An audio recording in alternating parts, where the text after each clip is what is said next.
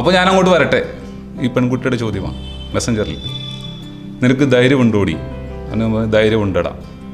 ധൈര്യം ഉണ്ടെങ്കിൽ വാടി നമുക്ക് കാണാം. നമ്മൾ കാണും ഇന്ന് കണ്ടിരിക്കും ഉള്ള ഡയലോഗാണ് അങ്ങനെയാണ് ഇതുങ്ങൾ അതിന്റെ ബാക്കിയൊക്കെ ഉണ്ടല്ലോ അവിടെ പറയാൻ സമയം അങ്ങനെയാണ് ഇതുങ്ങൾ സ്കൂൾ വിട്ട് ഇറങ്ങേണ്ട സ്ഥലത്തിന് മുമ്പേ കൊമ്മാടി എന്ന സ്ഥലത്ത് ഇറങ്ങുന്നതും അവിടുന്ന് കിഴക്കോട്ട് നടന്നു പോകും നടന്നത് രണ്ടര മൂന്ന് കിലോമീറ്റർ ഉണ്ടെന്ന് എനിക്ക് തോന്നുന്നു.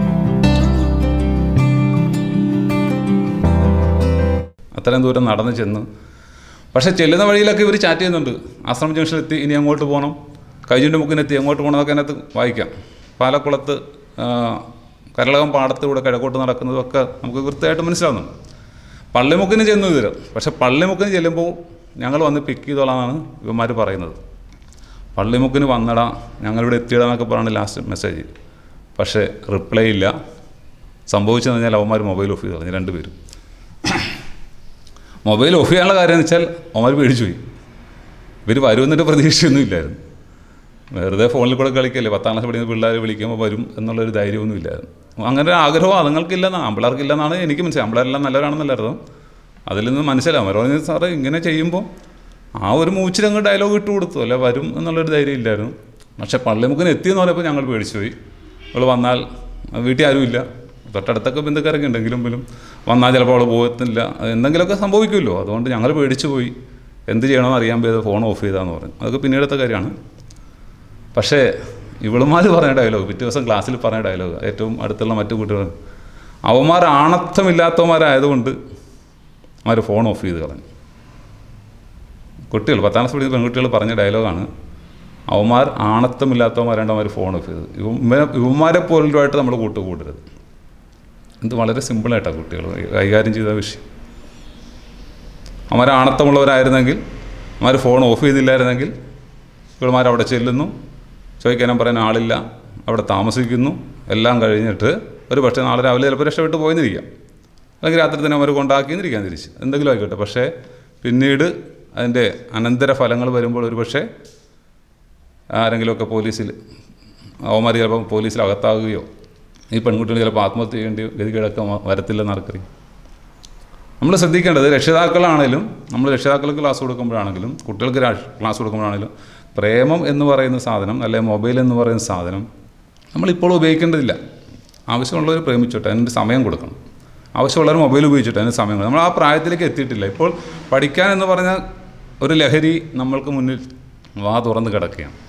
അതിനെ രണ്ട് കൈയും കൊണ്ട് സ്വീകരിച്ച് സർവാത്മന സ്വീകരിച്ച് നമ്മുടെ ലക്ഷ്യത്തിലേക്ക് ഉയരാൻ പടിപടിയായിട്ട് ഉയരാൻ നമുക്ക് സാധിക്കുന്നുണ്ടെങ്കിൽ പിന്നെ എന്തിനാണ് ഈ വാട്സപ്പും ഫേസ്ബുക്കും പോലെയുള്ള ലഹരിക്ക് അടിമപ്പെടുന്നത്? എന്തിനാണ് ഈ പ്രേമം എന്ന് പറയുന്ന ലഹരിക്ക് അടിമപ്പെടുന്നത് ഇതൊരു പ്രേമമാണെന്ന് പറയാൻ പോലും പറ്റത്തില്ല. ഇത് ശരിക്കും പ്രേമമാണോ? പ്രേമമാണെങ്കിൽ ഇവിടെ ഇങ്ങനെ പോകേണ്ട കാര്യമില്ല. അപ്പോൾ നമ്മൾ അതിന്റെ തുടക്കം ഒന്ന് ചിന്തിച്ച് നോക്കുക. വെറുതെ അമ്മയുടെ ഫോൺ എടുത്തിട്ട് അമ്മ അഞ്ച് മിനിറ്റ് കളിക്കാൻ കൊടുത്തപ്പോൾ ഗെയിമും കളിക്കാതെ അല്ലെങ്കിൽ ഒരു യൂട്യൂബിൽ ഒരു പാട്ട് കേൾക്കാതെ നേരെ പോയത് മെസ്സഞ്ചറിൽ കയറി ചാറ്റ് ചെയ്യാൻ. എന്തു പറ്റി? പാവം ആണത്തമില്ലാത്ത ആണുങ്ങളായതുകൊണ്ട് അവളുമാർ രക്ഷപ്പെട്ടെന്ന് വിചാരിക്കും. ഇത് നമ്മുടെയൊക്കെ വീട്ടിൽ സംഭവിക്കത്തില്ലെന്നൊന്നും പറയാൻ പറ്റത്തില്ല.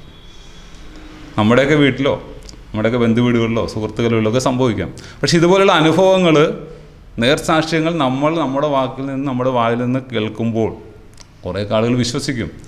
ഇങ്ങനെയൊക്കെ സംഭവിക്കാൻ സാധ്യതയുണ്ടെന്ന് കണ്ട് അങ്ങനെയെങ്കിലും ചില റെസ്ട്രിക്ഷൻസ് നമ്മുടെ കുട്ടികളുടെ മേൽ വന്നാൽ ഒരു പക്ഷേ അവർ രക്ഷപ്പെട്ടേക്കാം.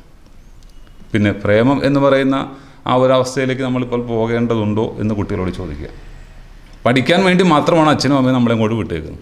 ആ സമയത്ത് എന്ന് പറഞ്ഞാൽ സ്കൂളിൽ വരെ എല്ലാവരും പ്രേമിക്കുന്നൊന്നും അർത്ഥമില്ല. സ്കൂളിലോ അല്ല കോളേജിലോ പരസ്പരം പ്രേമിക്കുന്നവരുണ്ടാവാം.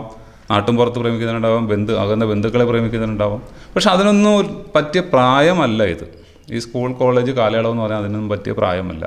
അതിന് നമ്മൾ സമയം കൊടുത്താൽ പ്രേമം എന്ന സാധനത്തിലേക്ക് നമ്മൾ സമയം കൊടുത്താൽ നേരത്തെ പറഞ്ഞ പോലെ പഠിക്കാനുള്ള സമയമാണ് നഷ്ടപ്പെടുന്നത്. അപ്പോൾ പഠിക്കാനുള്ള സമയം നഷ്ടപ്പെടുമ്പോൾ തീർച്ചയായിട്ടും നമ്മുടെ സ്വപ്നത്തിലേക്ക് നമ്മൾക്ക് എത്തിച്ചേരാൻ ഒരുപാട് ബുദ്ധിമുട്ടുണ്ടാവും ഒരുപാട് താമസങ്ങളുണ്ടാവും. എഴുതിയ പരീക്ഷകൾ പലതവണ എഴുതേണ്ടി വരും. അപ്പോൾ അതിലേക്ക് പോകാതെ നമ്മൾ പ്രേമം എന്ന സാധനവും മൊബൈൽ എന്ന സാധനവും മാറ്റിവെക്കുക. പ്രേമത്തിന്റെ ഒരു ചെറിയ ഒരു ട്രാജഡിയും കൂടെ പറഞ്ഞിട്ട് നമുക്ക് അടുത്ത വിഷയത്തിലേക്ക് ഒരു പെൺകുട്ടി സാധാരണ കുടുംബത്തിലെ പെൺകുട്ടി. അവളെ സാധാരണ ബസ്സിലാണ് പോണത്. ഇപ്പോൾ ഒരു രണ്ടോ മൂന്നോ മാസമായിട്ടുള്ള സംഭവം ഉണ്ടായിട്ട്. ആ അച്ഛൻ കൂലിപ്പണിക്കാരനായ അച്ഛൻ ആ കുട്ടിയെ രാവിലെ കൊണ്ടുവന്ന് സ്കൂളിലാക്കിയിട്ട് അദ്ദേഹം പണിക്ക് പോവുകയാണ്. അന്ന് അദ്ദേഹത്തിന് അതുവഴി പോകേണ്ട വന്നതുകൊണ്ട് അവിടെ കൊണ്ടാക്കിയിട്ട് പോവുകയാണ്. എല്ലാ ദിവസവും അങ്ങനെ കൊണ്ടാക്കുന്ന ആളല്ല ബൈക്കിൽ കൊണ്ടാക്കിയിട്ട് പോകണം പോയി ഏതാനും നിമിഷങ്ങൾ കഴിയുമ്പോൾ കാമുകനായ പയ്യൻ ബൈക്കിൽ വരുന്നു. അവർ കറങ്ങാൻ പോകുന്നു. കറങ്ങാൻ പോയി. ആലപ്പുഴ കഴിഞ്ഞു. വിട്ടു. മറ്റൊരു ജില്ലയിലേക്കാണ് പോയത് ജില്ലയെന്നും പറഞ്ഞാൽ പിന്നെ നിങ്ങൾക്ക് ഇപ്പോൾ ആളുകളെയൊക്കെ പെട്ടെന്ന് മനസ്സിലാകാൻ സാധ്യതയുണ്ട്. ഞാനത് വെളിപ്പെടുത്തുന്നത് ശരിയല്ല. സംഭവം സത്യമായതുകൊണ്ട് ഇത്തിരി വഴിതിരിച്ച് പറയാം. പേരൊക്കെ പറയുമ്പോൾ അവർക്ക് അവരുടെ വീട്ടുകാർ കേൾക്കുകയാണ് വളരെ മോശമല്ല. അപ്പോൾ അവർ ആലപ്പുഴ ജില്ല വിട്ടു. മറ്റൊരു ജില്ലയിലേക്ക് കയറി. അവരുടേതായ രീതിയിലൊക്കെ അവർ സന്തോഷിച്ചുമൊക്കെ തിരിച്ചു വരികയാണ്. തിരിച്ചു വരുമ്പോൾ നാല് മണിക്ക് കോളേജ് വിട്ടാൽ നാലര നാലേ മുക്കാൽ മാക്സിമം അഞ്ച് മണിക്കുള്ളിൽ വീട്ടിൽ എത്തുന്ന കൊച്ചാണ് എല്ലാ ദിവസവും. അന്നും അതിനെ എത്തിക്കേണ്ട ഉത്തരവാദിത്വം ഈ കൂടെ പോയ കാമുകൻ ചേട്ടൻ ഉള്ളതുകൊണ്ട് അദ്ദേഹം വളരെ സ്പീഡിൽ ബൈക്ക് ഓടിച്ചു വരിക ബൈക്ക് ഓടിച്ചു വന്ന് മറ്റൊരു വാഹനത്തിൽ ഇടിച്ച് കുട്ടി ഈ പെൺകുട്ടിക്കാണ് കൂടുതൽ ഡേഞ്ചറായത് നേരെ ആശുപത്രിയിൽ കൊണ്ടുവന്നു അടുത്തുള്ള ആശുപത്രിയിൽ കൊണ്ടുപോകണം അവിടുന്ന് മറ്റൊരു ഫേമസ് ആയിട്ടുള്ള ആശുപത്രിയിൽ കൊണ്ടുപോകുന്നു ഏതാണ്ട് ഒരു പത്ത് ദിവസത്തോളം പത്ത് ദിവസത്തോളം മാക്സിമം കിടന്നുള്ള. ആ കുട്ടി മരിച്ചു. ആ ആ പയ്യനും അത്യാവശ്യം മേജർ ഇഞ്ചുറീസ് ഒക്കെ ഉണ്ട്. എന്നാൽ മരിക്കുന്ന അവസ്ഥയൊന്നുമല്ല. കൈയും കാലൊക്കെ ഒടിഞ്ഞു. ഇച്ചിരി സീരിയസ് ആണ്. പക്ഷേ പയ്യൻ പറഞ്ഞ ഡയലോഗാണ് ഇത്രയൊക്കെ. കാരണം അവർ രാവിലെ പോയി അച്ഛൻ കൊണ്ടാക്കുമ്പോഴേക്കും ഇവൻ മാറി നിൽപ്പുണ്ടായിരുന്നു. അതിനുശേഷം ഞങ്ങൾ കറങ്ങാൻ പോയതാണ്. വർഷങ്ങളായിട്ട് പ്രേമമാണ്. എന്നിട്ട് തിരിച്ചു വരുന്ന വഴി അവർ പോയ സ്ഥലങ്ങളും വേറെ ചില കാര്യങ്ങളൊക്കെ പറയുന്നുണ്ട്. അതൊന്നും ഇവിടെ പറയാൻ ഉദ്ദേശിക്കുന്നില്ല. അവർ അത്യാവശ്യം സന്തോഷിച്ചിട്ട് തിരിച്ചു വരുന്ന വഴി ഇവളെ വീട്ടിലെത്തിക്കണമല്ലോ. സാധാരണ സമയത്തുള്ളിൽ എത്തിക്കാൻ വേണ്ടി പാഞ്ഞു പിടിച്ച് വെപ്രാളപ്പെട്ട് വരുമ്പോൾ റിലേ വിട്ടുപോയി. ഇനി സന്തോഷിച്ചതിന്റെ ഒരു ആ ആലസ്യം കൂടെ ഉണ്ടല്ലോ. അതുമെല്ലാം കൂടെ കൊണ്ട് റിലേ വിട്ടുപോയി വണ്ടിയെ കൊണ്ട് ഇടിക്കുന്നു. വണ്ടിയെ കൊണ്ട് ഇടിച്ചു. ആ കൊച്ച് സിവിയറായിട്ട് ആക്സിഡന്റായി. മാത്രമല്ല ലക്ഷക്കണക്കിന് രൂപ ചിലവായി. അഞ്ചെട്ട് ദിവസം കൊണ്ട്. എന്നിട്ട് പത്ത് പത്ത് ദിവസം കൊണ്ടായി. പത്താം ദിവസം കൊണ്ട് കുട്ടി മരിക്കുക. ഇതാണ് പ്രേമം. ഇതാണോ ശരിക്കും പ്രേമം? ഇതിനെ പ്രേമമെന്ന് വിളിക്കാൻ പറ്റുമോ? പ്രേമിക്കാനാണെങ്കിൽ ഇവർ കറങ്ങാൻ പോകേണ്ട കാര്യമുണ്ടോ? ആസ്വദിക്കാൻ പോകേണ്ട കാര്യമുണ്ട്. അപ്പോൾ അങ്ങനെയൊന്നും പ്രേമിക്കാൻ പോകേണ്ടതില്ല. ഇത് രണ്ടും കണക്റ്റാണ് പ്രേമവും അവിടെ മൊബൈൽ ഫോണും ഒക്കെ കണക്റ്റാണ് അതെല്ലാം നമ്മൾ മാറ്റി വെച്ചിട്ട് ഏറ്റവും മാരകമായ വർത്തമാനകാലത്തിലെ നമ്മുടെയൊക്കെ ഗൃഹങ്ങളെ വീടുകളെയൊക്കെ ഗ്രസിച്ചുകൊണ്ടിരിക്കുന്ന അതിഭീകരമായ മദ്യവും മയക്കുമരുന്നും എന്ന വളരെ വിശാലമായ ഒരു വിഷയമാണ് അടുത്തതായിട്ട് പറയാം.